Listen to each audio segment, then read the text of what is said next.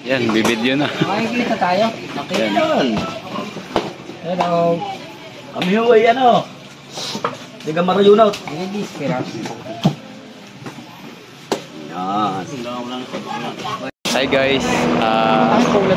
may lakad po tayo today. Ah, pupunta tayo kay Busmam dun sa may Laguna. Yan, kasama ko si G. Atin po kami ng kasal bukas guys.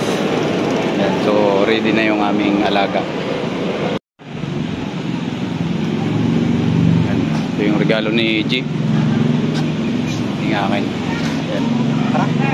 So alis na kami guys. hours later. Shout out sa Coker. Yan.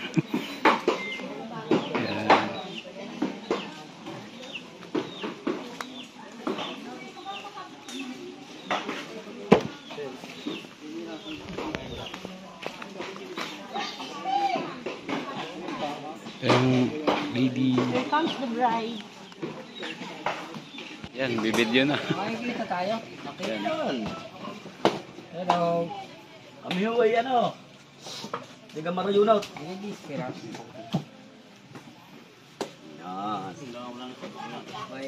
Yan ho ang basahan din eh sa amin sa Santa Maria.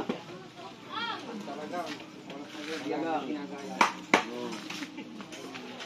8:01 p.m.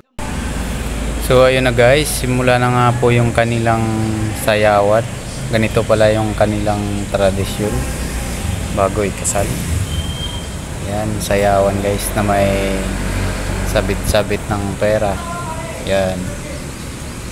So enjoy lang guys. Yan.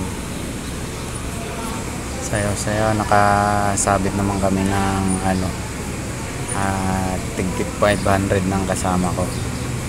Yun sasayaw na yung boss namin. Si boss ma'am saka si Lemuel yung kanyang mapapangasawa. Yan so dito pala kami sa may Santa Maria Laguna guys. Yan dumayo kami ng kasalan. Umatin kami sa tropa namin So, yan. Sayaw-sayaw muna. Naalala ko yung ano dati guys, yung parang bailihan sa probinsya, ganitong ganito rin. Pero may bayad piso. Piso, dos hanggang lima. Pag special, sampo mas mahal pa dun. Guys, yan.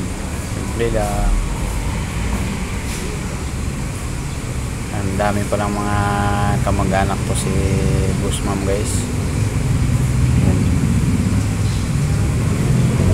Hindi lang.